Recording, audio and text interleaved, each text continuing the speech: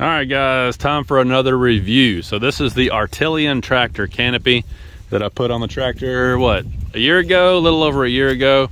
And uh, I like it, but you can already see in the video here the problem that I'm having with it. See how it's like angled downhill? Let me get over here on the other side of the tractor where the sun's to my back and then maybe you can see it even better. Eh, it doesn't really help any. But anyway, you can see how the front of the canopy keeps sagging downward. And I've gone up in here, let me zoom in a little bit, uh, where the hardware is up there that holds these bars. I have gone in there and I have tightened those down as much as I can.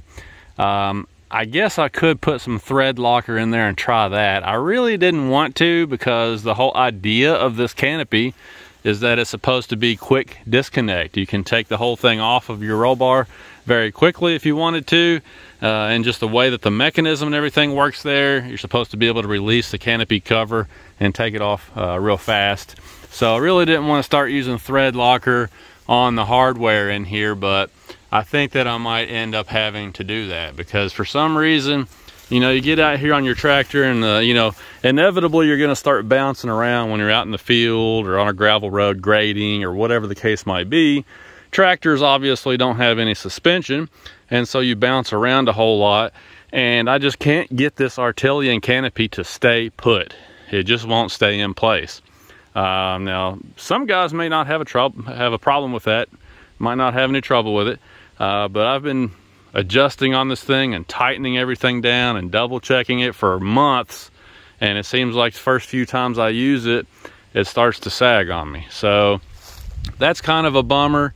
Uh, don't really like that so much about it. But one thing about it, when you get up on the uh, dog's gonna start barking, get up in the operator station, you can see how with it sagged, you do get a little bit more uh, protection from the sun, I guess. It keeps a little bit more of the glare out of your eyes this way. So I guess it's not a total bust, um, but it's just kind of frustrating.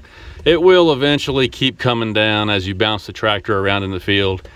And then sooner or later, I have to loosen everything back up and push it up again.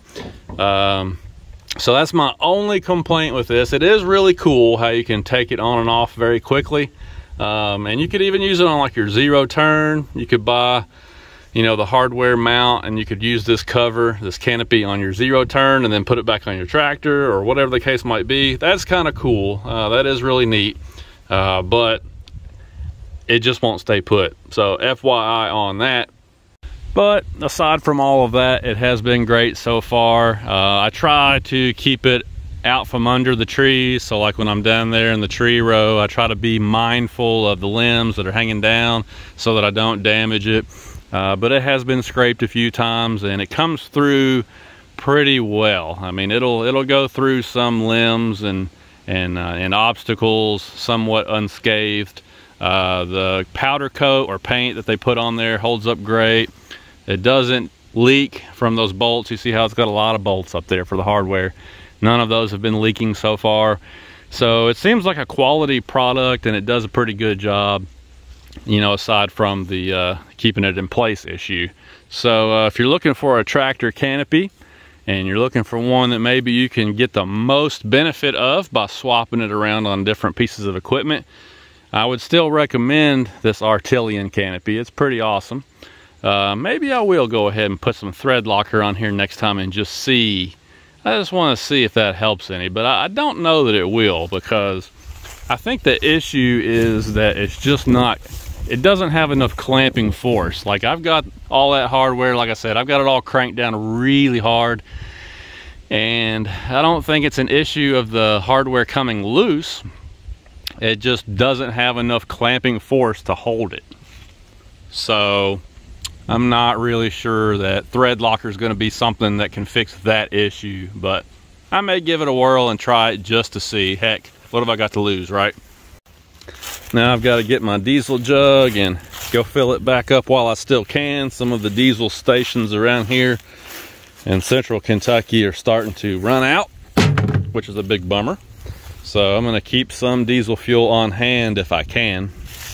So what I was doing out here with the tractor today is cutting down another tree. I want you to see this. So this tree was a live tree. Uh, obviously it's November, so it's been dropping its leaves, but you can see that it did still have leaves on it. And I mean, it was a pretty good sized tree. Uh, this is about the middle section of it, so it's probably, my hand's about eight inches, about eight inches in diameter at this point. It was a little bit thicker down there at the base. So a relatively young, maybe 25, 30 year old oak tree but uh, check this out. I used my Kobalt 48 volt electric chainsaw to cut this tree down. And as soon as I cut into it, it started going really, really well. And I thought, man, this chainsaw is doing a great job. but then I quickly realized why the chainsaw is doing a great job. Check that out. I've never seen that before on a live tree. I mean, obviously trees that have been rotted and dead for a long time will do that, but this tree was live it was producing normal foliage, just like any other tree, and it was totally hollow inside from the ground all the way up uh, several feet. You know, you had to get up into the middle part of the tree to get some hollow, or excuse me, some solid wood. Everything below the middle part of the tree was hollow like this. So I guess you learn something new every day. That's pretty wild. But the good thing about this is I can easily just keep a fire stoked up down in there and burn this stump out now. So that's cool. Reason I cut it down is because it's got one right next to it that's bigger. It's already ahead of it uh, on the timeline and you know, it's a big, beautiful tree.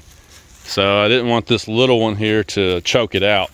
So I decided to go ahead and cut it down. And what I thought I was gonna do, what I've been doing on some of these other ones down through here, is I'll cut it off about the same height that you would have for a chair. And that way you end up having a nice place to sit out here in the woods because I mean the river's down there it's real pretty down here. So you know if you got to cut a tree down why not save it down here at the bottom and make a chair out of it right? Nice place to come sit out here in the woods. But this one's not going to work out for that. So oh well too bad all right i'm gonna go back and uh, get the rest of this cut up get back to work but We'll talk to you guys later. Have a good weekend.